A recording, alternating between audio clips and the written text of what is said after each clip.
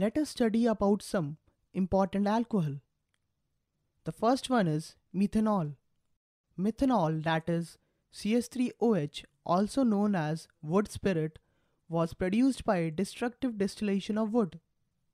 Today, most of the methanol is produced by catalytic hydrogenation of carbon monoxide at high pressure and temperature and in the presence of ZNO Cr2O3 catalyst.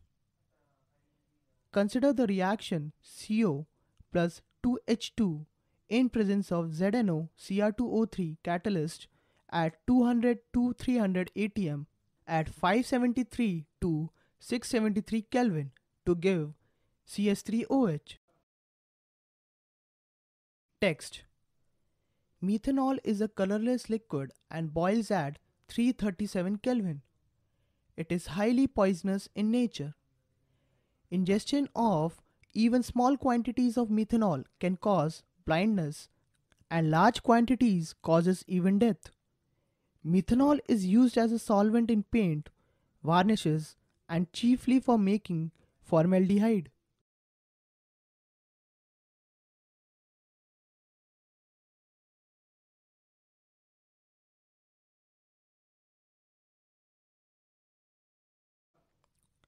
The second one is ethanol.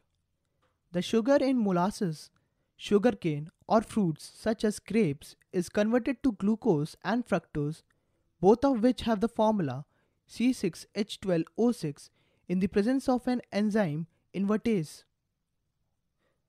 Consider the reaction C12H22O11 plus H2O in presence of invertase gives C6H12O6 that is glucose plus C6H12O6 that is fructose. Glucose and fructose undergo fermentation in the presence of another enzyme that is zymase which is found in yeast to form ethanol. Consider the reaction C6H12O6 in presence of zymase gives 2C2H5OH plus 2CO2.